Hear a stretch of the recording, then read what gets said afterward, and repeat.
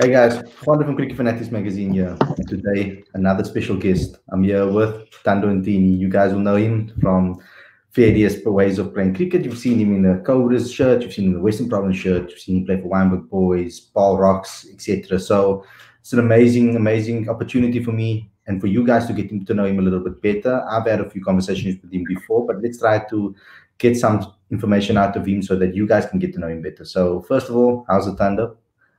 I'm good. How are you? I'm good, thank you, Ben. How's lockdown treating you?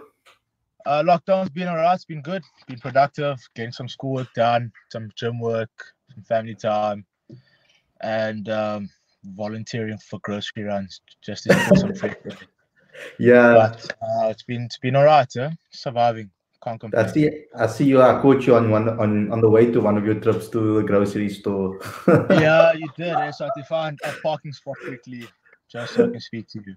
Yeah, cool, awesome. It's good to stay safe and everything. So, um, with regards to cricket and training during lockdown, um, can you maybe give me some insight into that and how some advice to younger cricketers? Um, obviously, like it's difficult when it comes to actually like actually training for cricket. Uh, bowling and batting and stuff, fielding and all that's difficult because like I don't have a net at home and stuff like that. Mm, Um, but I am fortunate that I do have a gym at home with all the necessary equipment. So I've been using that to stay fit, and my dad is not giving me a break, so he's always on my tail the whole time. So I've been working out quite a bit, so my fitness levels are up there. So with anything that can come up, whether it's national academy or whatever, and all sorts, I'm ready. I'm good. I'm good condition. Um, feeling good. It's just that might be a little bit rusty when it comes to the actual physical stuff of the game. Um, but when it comes to the fitness side and the mental side, I can definitely say that I'm stronger and better. And I'm looking forward to the new season if we have a season. Yeah, yo, it's crazy the way everything's going at the moment. Nobody knows Yes. anything. Yeah. yeah, well, if your dad's giving you a hard time, you must just tell him, hey, dad, pad up there, or not pad up, and let bowl a few beamers at him, man. Like, say you want to practice your bowling. I wish it was that easy, eh? I wish it was that easy. yeah, so, so um, did you guys get programs from your coaches, etc.? Now you've moved obviously to the Titans. Um, did you guys get Um, programs? yeah, like the coaches from the management, I should say, from from the Titans group have been very proactive, and also CSA as well. Since I'm part of National Academy this year again, so we do have programs and stuff that we have to do on a weekly basis, and we have to we have to send the stuff through to the fitness trainer so he can keep track of our workloads and everything. So Mm. we do have programs in place. So CSA and the franchise were very proactive in keeping us busy. Yeah, that's awesome. So um, let's just go through a little bit of the beginning of your career to give people understanding because your upbringing was a little bit different to the general person's story. Um, a lot of people have that uh, that questions where they play cricket with their with their father, or their brothers in the backyard, and that's how they got into cricket. Yours is a little bit different. So just give us your insight into how your cricket career started, your exposure at a young age, especially with your father being who he is. Um, to be honest, it's not. I'm not really like living a normal teenage life because, like, since a young age, I've always kind of been in the spotlight and everything. So, like, doing the normal things a normal teen would do were, were kind of like, uh, I wouldn't say prohibit, prohibited, but like, I was, you know, watched. I was, you know, so missing a lot of school, like preschool days, primary school days, and since my cricket career took off in uh, into a serious direction from playing for SN 19, so high school also from grade 11 when I made the side, um, missing a lot of school there. So when it comes to socializing and going out and chilling with friends and all that, I don't really have that much leisure time Mm. on my hands because it was always from a young age. I traveled with my dad, then when he's not playing, I'm back at school Mm. and all that. And then when I was at an age where I can be at school while he's traveling, then on school holidays, I'd go away. So I would never spend like free time, like Yeah. the holidays at home with friends, like the normal kids would, or Christmas time, or New Year's, and all that. So I've always been on the road, and I could definitely say I spent my first Christmas at home in 20, 2016. Sure. That was the first time I spent Christmas at home.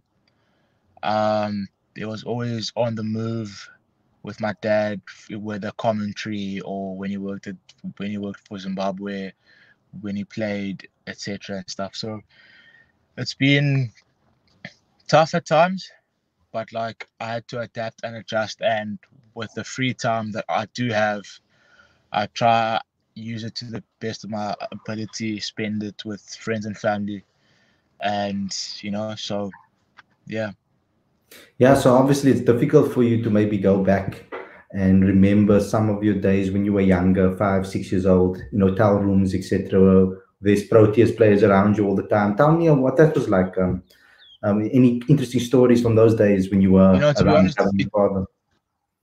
no, born into that environment and from a very young age and growing up and being around such people, it doesn't really sink in until this age where you're like, okay, cool. I I was around legends of the game Mm. almost 24 7 for 11 years, 11, 12 years, you Mm. know, and it doesn't really sink in but when you're a kid because you just want to have fun you just want to make friends and play in the lobbies and stuff like that and just you know so i, I can definitely say for the longest part of my dad's cricket career uh, i barely watched cricket. When i was at the stadium i was always on the move playing with other kids and stuff and only going back up to the box when it's lunchtime or tea time just to grab a snack or whatever. But um if that was the case now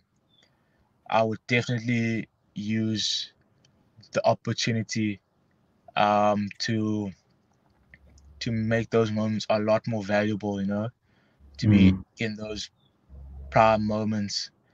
But obviously i guess i w- wouldn't have the passion for the game if i didn't go through all of that at such a young age and be and be surrounded by greats of the game. And obviously as a child they play with you and stuff you know just to entertain you but they don't know how much influence that has in your development you know so i can say I, I was i'm very privileged to to have been part of that setup from pretty much birth Yeah. yeah So you you mentioned to me before privately we spoke and you told me like you played some corridor like corridor cricket in a way like in the hotels. Who were some of the guys that you played with um when you were in hotel rooms?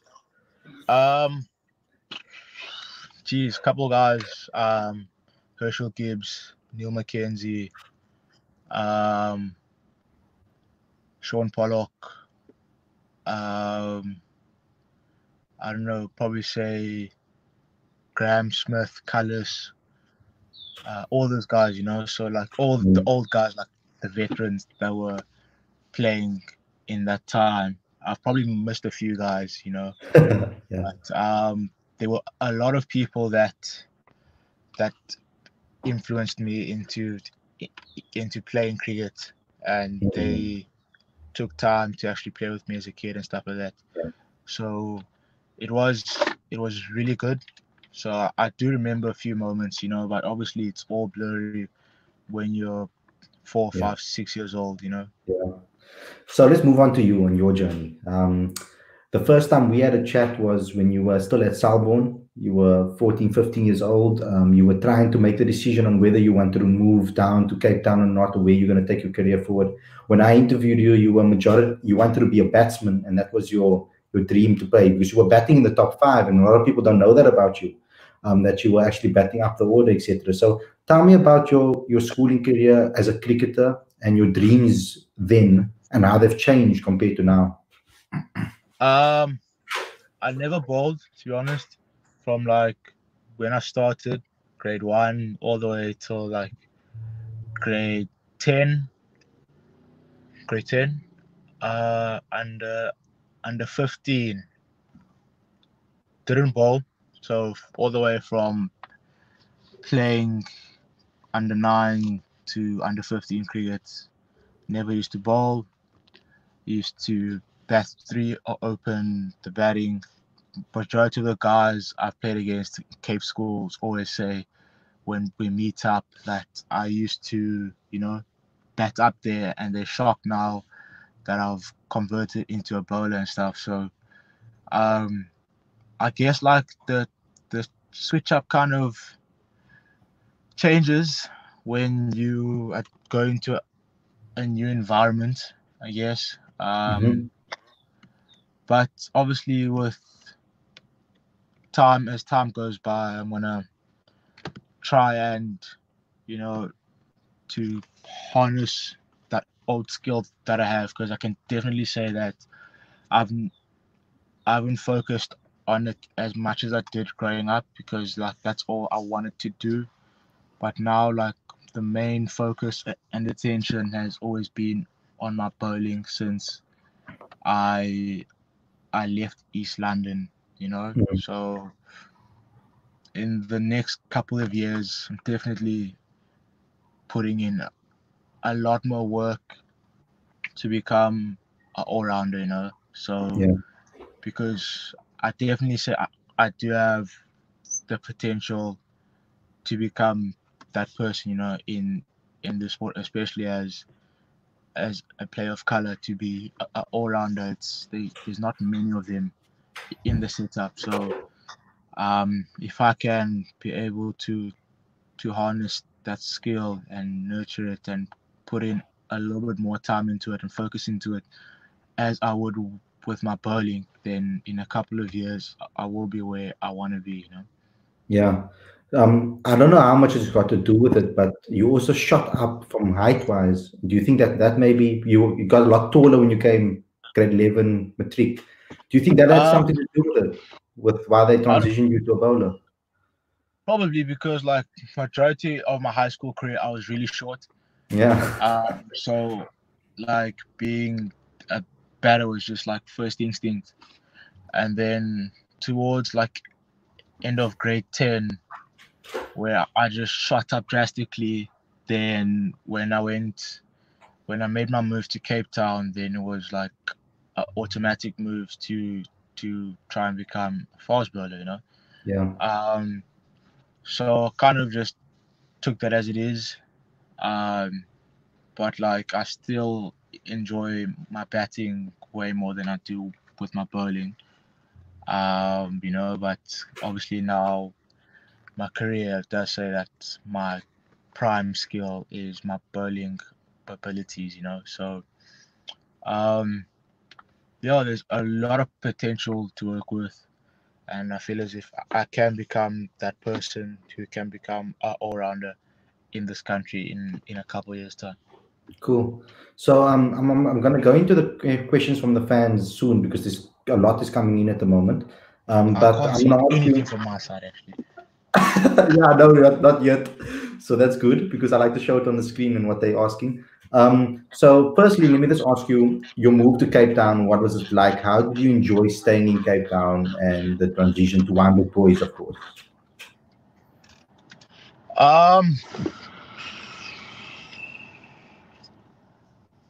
moving to Cape Town was an interesting move, but I genuinely felt like it was a good move because playing in Cape schools for a couple years um, you kind of see which schools are better cricketing schools. So I kind of decided after my first first team Cape schools that um, I'm gonna move, and I got a few offers from the various schools, but I went with Wynberg, and I've really enjoyed that just transition from where I was, just from the school in general, the people in the school, like the guys were really accommodating, and I just like settled in so quickly.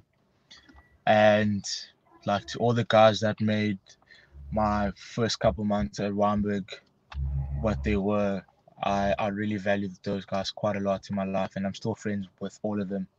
Mm. And even now that I'm out of school, I, still keep contact with a few of the guys, um, which is really good. So yeah, my move to Cape Town was probably the best move I could ever make for myself and for my career. Because since I've moved there, I've I've grown in leaps and bounds. So it's been unreal. And with regards to Western Province, moving into the Western Province team, who are some of the friends that you made, etc., and who helped make it easy for you to transition into the Western Province side? Um, obviously, majority of the guys who are in the Western Province side were from the various schools which I've played against, and Yeah. so majority of the guys. So my first Coke week, there were about eight Wynberg boys in the province side, so I was pretty much playing in my school's first team side. Um, and then a few guys from Bosch and Western Province Sports School. So I knew everyone. So playing for Province and playing in that environment was really easy because I gelled with everyone and I was pretty much met with everyone. And that was that was really good for my my development. And that was pretty much the trend when I was playing Week that majority of the players were from the two schools, uh, and Rondebosch. So obviously with the with the the battles we have between the two schools, you become very fond of the certain guys. So playing for province was super easy. Yeah. So um, you know, you I've I've noticed that you have quite a few friends in that in that team, some close knit friends in that team. We did one of your friends earlier at the one of our first interviews was Bonga Makaka, and you gave him some some comments in that in that interview. You really enjoyed it. So Good band. tell, tell me about Bonga. You enjoy his banter with him. Um, I've known Bonga before I moved to Cape Town. Um, met him at the under 17 week, and then we played in the same SA under 17 side of Cubs week, and then we've kind of became close friends. And to find out that he was also a Wynberg boy, it just made everything a lot easier. And that he also stayed at, at hostel, even though I didn't stay at hostel for for too long. I was only there for six months. But um, Bonga has always been a type of person where I can motivate him and motivate myself. And I literally got before I moved to Cape Town, I literally got strict orders from his mom, and she was like, um, "I know my son tends to drift a lot, but please, can you put him in line and make sure he does everything he needs to do, and please guide him." So basically, I- had weight on my shoulders before I even got to Cape Town to look after this man. Um, but through all of that, we we've had some good times, some tough times, you know, but we're still very good mates, you know. Um, and we push each other to do better in from our schoolwork to our lives to our, the decisions we make and everything. But like, if you know, for the two of us, the people that always kept us in track was Siasibia and Mr. Graham October. Those were like our two parents in Cape Town Mm. and they were so tough on us sometimes. Uh, but obviously that pushed me and Bonga to be closer and closer by the day, and to work to work in partnership to, to achieve our dreams and stuff. And you know, my training to make SN 19, Bonga was there every morning, every evening, working hard with me. You know, and then when he was training to make his debut for SN 19, I was there as well working with him. So we do have a lot of uh, input and helping hand in our careers, you know. So we wouldn't be where we both are if it wasn't for some of the things we've done for each other. Okay, cool. So, yeah, so we just let's just get into one of the questions quickly. I just wanted to ask you about your time with the Cobras. What was that like, and how, how was it like to, to play with the Cobras, of course? Um, playing for the Cobras, it came by surprise because I got told um after uh after the Northerns one day game. Um, so I was re- I was really shocked, but the person that leaked the news before I was actually told was Saki, and I did not believe him one bit because I was like, Saki, please don't make jokes like this, dude, because this is actually affecting my feelings right now, because I'm not sure whether to believe you or not. And off, and that was like at lunchtime, because he was part of the Cobra squad then, so he was part of the part of the part of the chat and everything. So when he told me, I did not believe him, but um, carried on playing, and that was kind of like, if it was true, that kind of like motivated me to to bowl and bat the way I did. Um, even though we we still lost, but like I felt as if I was in a good position, physically and mentally, and the way I was playing. And then after the game, uh, Coach Paul and Dieter were like, uh, "You got a call up to the Cobras, and they leave tomorrow."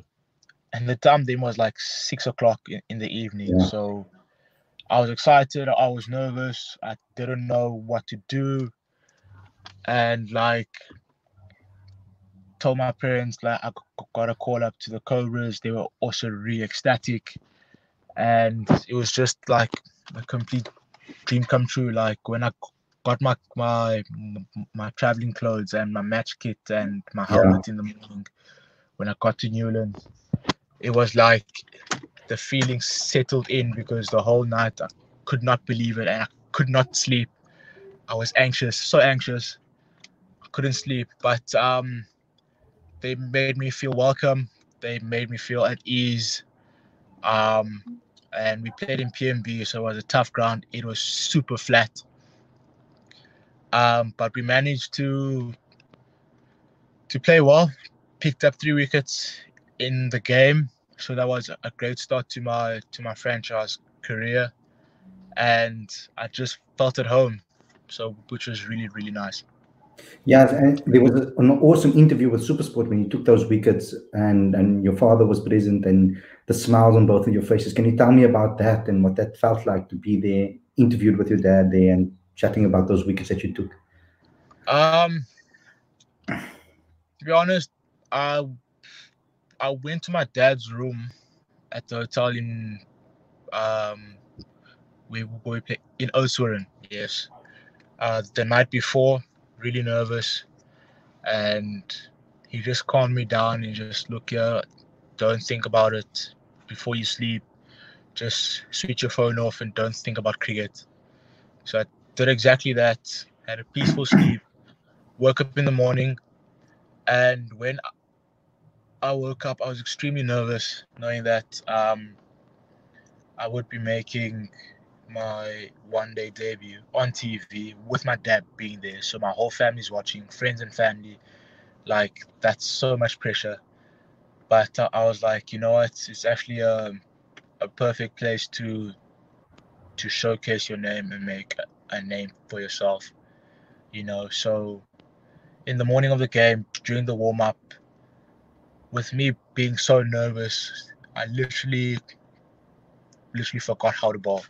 So thank God my dad was there, and he helped me out, calmed me down, and yeah, that was really pleasing to to be part of and to have him there watching me bowl and commentate while I'm bowling.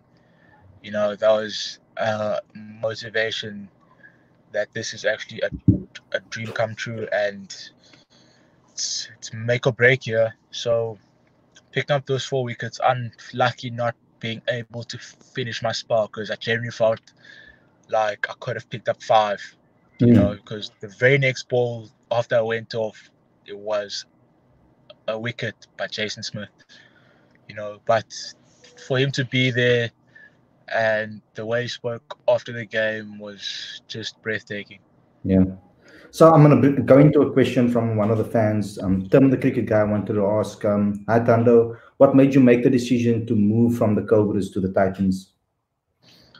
Um, to be honest, I the move was a career move. To be honest, um, I wanted something new, a new challenge, um, a new environment, you know, a new city to to explore and see where it takes me. It's a leap of faith uh, because I don't know how it's, it's gonna go, but I'm very positive about the decision I've made. Uh, my stay at the Cobras has been n- nothing but magical. Um, and at the Titans, what I'm really lo- looking forward to is to be part of to be part of the structure, to be part of the, you know, a, winning mindset. You know, the the challenges because to see that they have been the top sides for for a while now. You know, just to be part of that. Uh, so for me, it was just a, a change of environment and uh, seeking a new challenge and new opportunities. Cool. And another one is from Ravi. He says, Hey Thando, congrats on a superb start to your career. Do you have any ambitions to play test cricket or do you consider yourself strictly a white ball player? To be honest, I prefer red ball cricket more than white ball cricket. Awesome. Um, so yes, I do consider myself.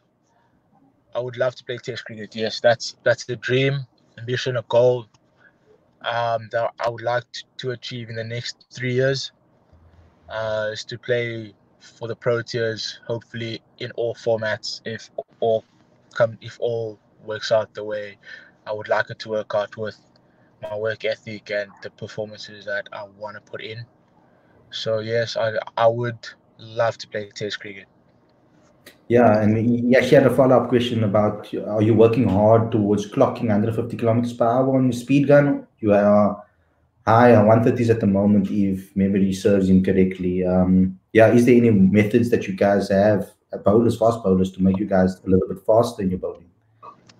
Uh, 150s, that's fast, guys. Yo, um, to be honest, at the age I am, I'm not really focused on how fast I can bowl.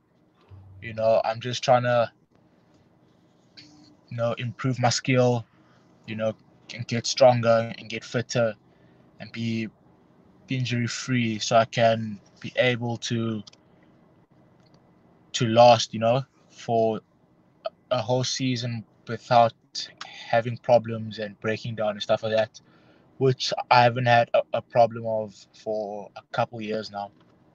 Um, but bowling quick is not about what you guys normally think it is. You know, it's if it clicks on the day and your rhythm's feeling good, you're feeling strong, you're feeling solid at the crease, and everything is aligned, then it kind of happens naturally without you even thinking about it or trying. You know, so when you do think about trying to bowl fast, it most of the time it doesn't happen the way you want it to, you know. Yeah. So yeah, it's all about rhythm and feel and you know just everything coming together on the day. Cool. We have a question here from Coach Sia himself. How's Bonga on the short ball versus side arm? Terrible. Terrible. But um I won't lie, he will take you on because he is a ego player. I know him because I spend most of my time with, with him. Um, he will definitely take you on, coach. I can tell you that. But a chance of you hitting him very high. Um, but at the moment it's 50 50. It's either he hits you or you hit him. So I can't make cool. the call. But okay, I would cool. love I'm, to be there though. I'm gonna ask him as well. How's Bonga? Oi!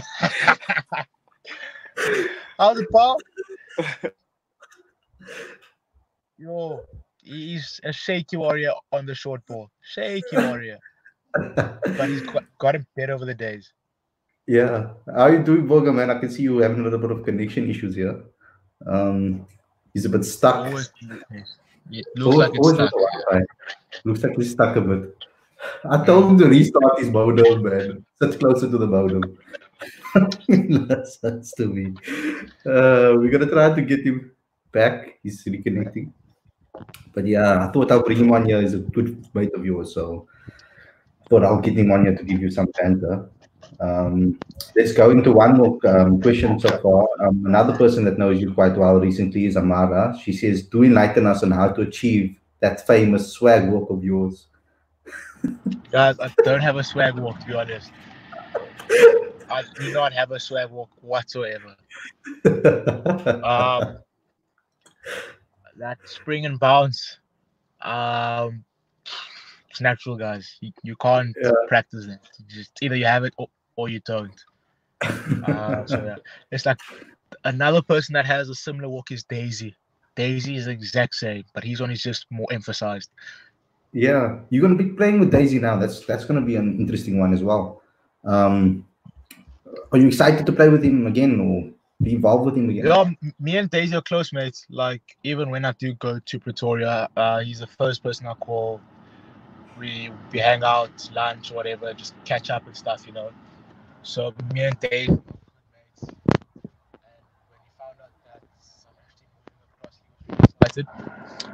Um, yeah. So playing with each other at National Academy just made our friendship even stronger. And now that I'm going to be playing with him, just makes things a lot better.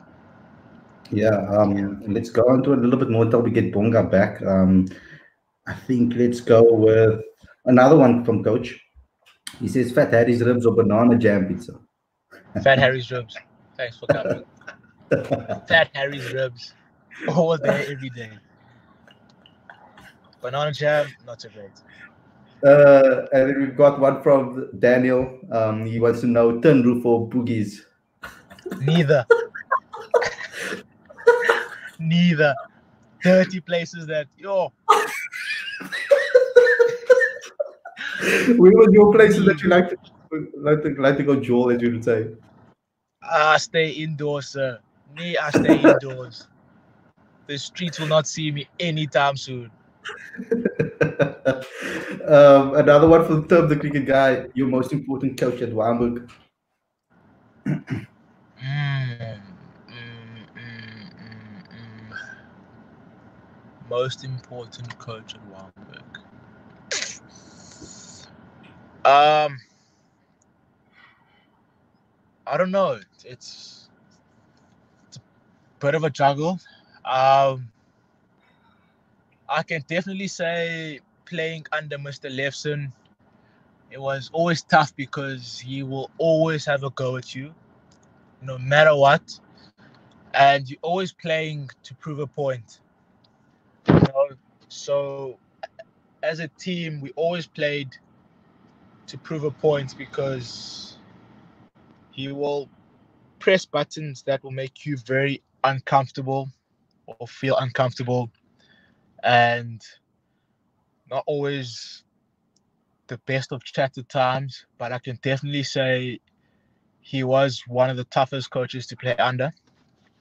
Um, so playing with playing under his leadership as a as a head coach, always played to to prove a point and always show that you are the main man in that team. And if all 11 players were doing that, then we were beating every single team we came across. And as a result, we were second in the country for the whole season. And we lost to St. Stithians in the, in the T20 schools. And I genuinely feel if we beaten them, we would have been number one in the country. But we really had a gun side that was always trying to prove a point and always push the boundaries and challenge each other. Yeah. So we've got Bonga back again. Your connection Glad is you good bought now. daughter, fam. I'm glad you bought daughter. Hey man, Wi-Fi struggles, bro. my bad, my bad, guys. Sorry. Yeah, so- sorry. Tan- Thando said these emotional words about you before you came on. Um, this it really made me tear a bit. Um, so Now, don't Did cry you hear? now, mate. Come on, you're on Ah, nah, nah, nah, nah. nah, I, I heard a, I heard a bit of, of what you were saying at um before my wife uh, started acting up. Um, but yeah, really, really um inspiring words there from Mr. Ntini. We go way back, so I'm not surprised. Still a clown. Never change. Bonga, you have any questions for Thando over here? Oh, me. Yeah, you. Um, What do you have to say? Let's No, see. I- Let's hear. Let's hear what you have to say. nah. Um, nothing more than um. How how how is he gonna um progress himself to be ready for national cricket? Um, I can definitely say the formula to cricket will stay the same. It's always been for how, however long cricket's been around. Put in the hard yards, you train at the right intensity, you'll be ready for anything.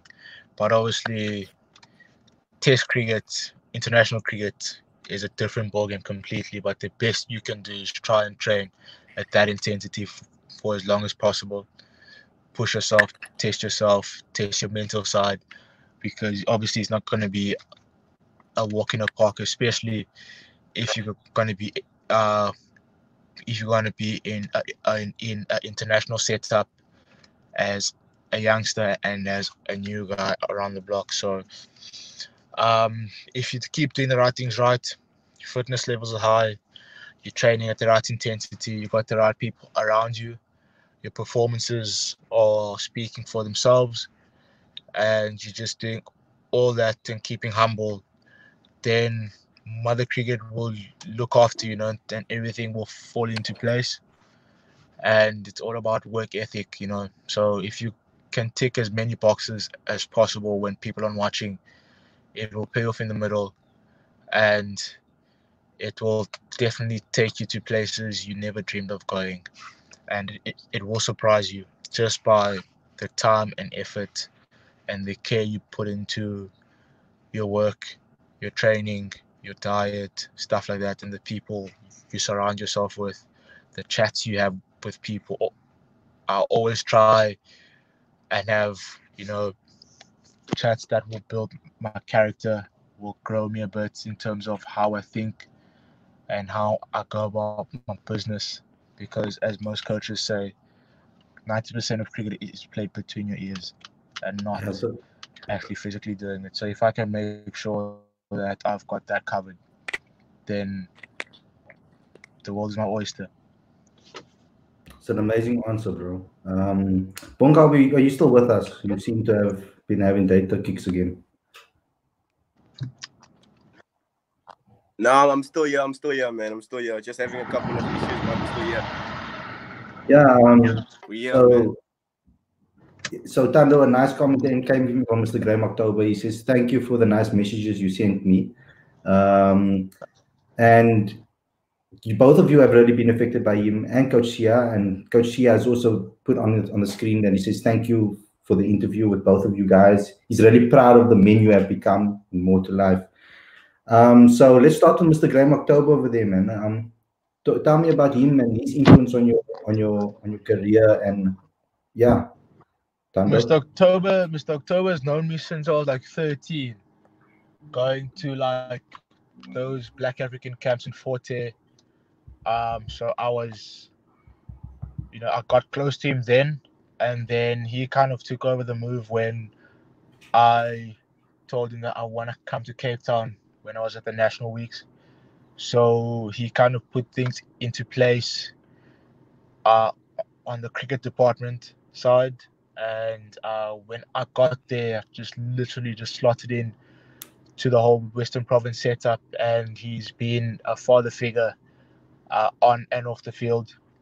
Um, he's very tough on me, but but he he's done all that through love and through care, you know. So all the all the efforts he's put in for me over the years have had a great contribution to where I am today as a human, a character, and as a cricket player. Same as with Coach. Those were the two people I can say were parents to me in, in Cape Town. And not to forget Sandman.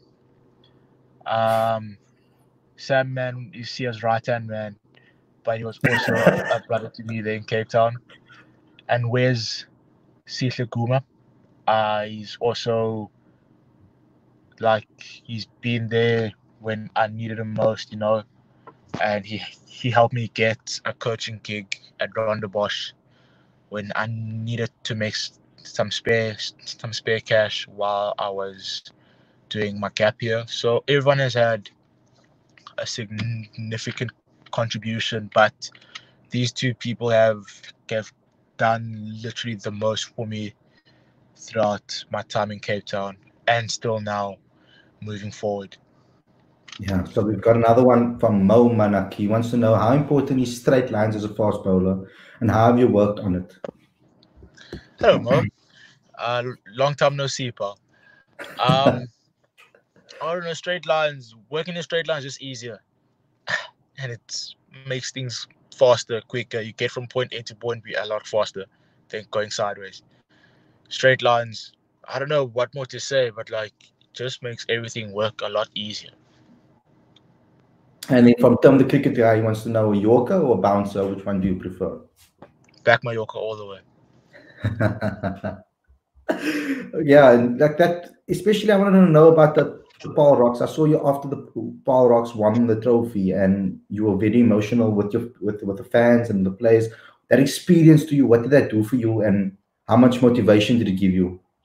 Um, I can definitely say being in the Paarl Rocks team was a blessing. Uh, but not playing the whole tournament was was really, really, really frustrating.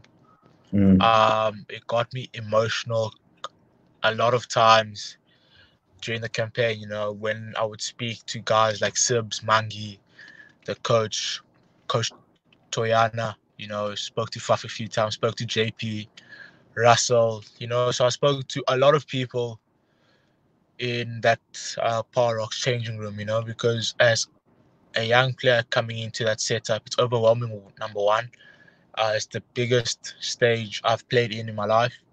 I've been part of. Let me say, um, the intensity is different, the environment is different, and I obviously would have loved to be part of a game. You know, um, but just being in that environment, a lot of people dream to be part of that environment, and I was privileged enough to be there. And I guess um, I can say probably I wasn't ready or wasn't at the level I I needed to be to make the starting eleven, but it was probably like um, a, a ten week uh, learning lesson, a ten week class to to make me a better cricketer, make me understand the game more, you know, work on my skills in different pressure situations of training, our uh, internal games, playing against each other, training at night, you know, playing under lights, being part of that whole setup, and just feeling the pressure of being at such a level, playing with majority international players from across the globe. Um, and being able to to feed off those guys.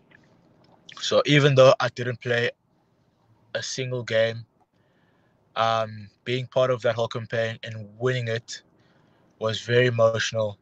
Um, yeah, so it was it was really good. Yeah, we're gonna just sign off by start giving Bonga one more chance to redeem himself. The Bonga, you back on again, hopefully for a little longer time. Fuck, man. Sorry. Excuse my So- language. Thando, so this is what you were talking about. His mother was asking you to obviously like look after him, etc. Is this what you were talking about? He knows it. He knows it. That's the thing. Can't hide from it. Can't hide. So, Bonga, tell me, man, tell me about Thando and um, what it's been like to be around him in teams, etc. How it's been, what type of inspiration it's been like you for you off the field, etc. As well.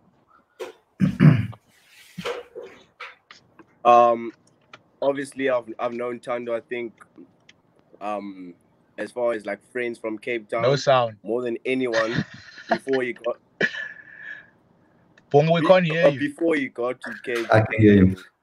Oh, okay. You can hear me. Oh, um. So obviously, so that was that was quite um a start of a relationship for us. Um, I remember in Cubs Week where we actually met like in person.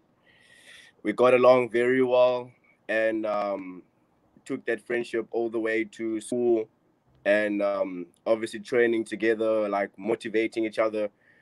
Um, definitely was something that I needed personally at that time of my career because he's so focused, man, and he knew exactly like what he needed to do to be successful. Okay, so we lost him again. Shock.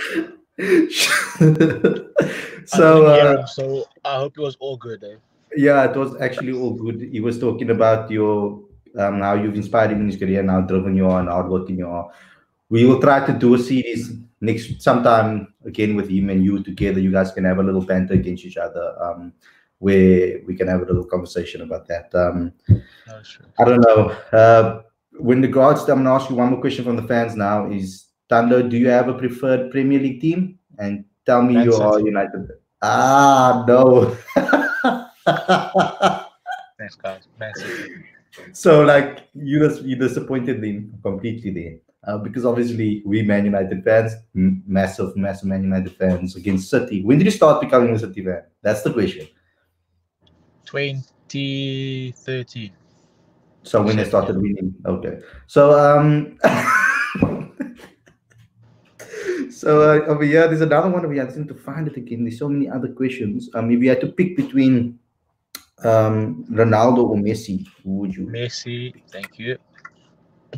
Completely Messi. I thought you would have been more of a Ronaldo fan with all his work ethic and no chance. Wow, that's a legend, guys. Absolute good. And uh, uh, finally, from um, Daniel, he says, um, "Do you have sugar on your toast?" Uh, it depends how I'm feeling on the day. Oh, Tea time. I can definitely say I put seven sugars in my cup of coffee. sure. Um, sugar on toast. It was more of my dad's thing. Um, so no, I do not put sugar on my toast. It's a gun Hmm. combination, though. I can tell you that. But Yo, I've never had that. I've had um, banana with um, banana with peanut butter. Shoo. toast, butter, sugar on top. Gun. I'm gonna try that. Actually, that's a good idea, maybe. Um, so what? I'm getting messages here from other people asking me about. Uh, get uh, Bonga in- uh, Okay, cool. Yeah, so we've got a lot of opportunities going down the line, guys. Thank you for tuning in. For, because I mean, I'm, I'm sorry that I have to cut it short now because I mean, Bonga is a, I mean, Bonga messed up the whole last part of the of the interview by not being able to come on, but it's all right. And also, Tando has a whole shopping list to go get to. He's on his shopping run. Um, what sort of stuff is on your list? How much of that is actually um, um, what's it luxuries? You know, I did majority of my food shopping yesterday, but I came to get stuff for so I can study better. So I need some stationery and stuff, Yeah, um, and some content to finish off my assignments and stuff. yeah. So getting some schoolwork, and I'm trying to find where I can get ink for the printer at home. Yeah, so your your spare time has mainly been studying, training. You haven't really had the opportunity to actually um, do any other fun stuff. Have you been watching Netflix or playing PlayStation, etc.? Uh, played PlayStation for the first weekend, and then I finished uh Money Heist in like four days, part one to part four. That's me. So I was What on a show. and I wasn't disturbed for a full four days. Uh, my sleeping habits have been out the window. feel you. Um, but yeah, I'm just trying to keep as healthy and motivated as possible because, like, studying in this time and training in this time. It's difficult, but you gotta you gotta do what you gotta do to to Yeah. to where. Money. Money Heist was amazing, eh? Money Heist was That's fun. I, I didn't. I thought the hype was for nothing, but until I actually watched it, no, no, it's it's it's great. It's just the one of the best I've watched in a very very long time. yeah, awesome. So thanks a lot for this interview, Thando. Um, I'm hoping No that we can. I hope, I'm hoping we can get that one with you and Bonga down the line, a more fun interview, more you know, have a little bit of fun with that one. I'll, I'll get in contact with you when we do do that. To the guys out there, to the fans out there, we will be putting this video on our website for you guys to watch back and with Thando, obviously to um, give it to his friends and family that haven't seen it yet. Lastly, Thando, just a message to the cricket fanatics fans that asked me to get you on here. Um, to everyone that watched, thank you very much. Um, thank you to everyone that supported me on my cricket journey, and those who are still supporting me. Um, sorry for letting those down that thought I would stay at the Cobras. Um, got no bad blood towards the Cobras whatsoever. But uh, to everyone that supported me during my times of playing at Newlands and everything, uh, appreciate you guys a lot. Much love. Um, and during this epidemic, I hope everyone is keeping safe and uh, making sure they're staying healthy and fit. And stay safe, guys. Never give up on your dreams. And yeah, just keep up the good work. Thanks a lot, Thando. I'll chat to you again. Alright, cheers, man. Cheers. See you.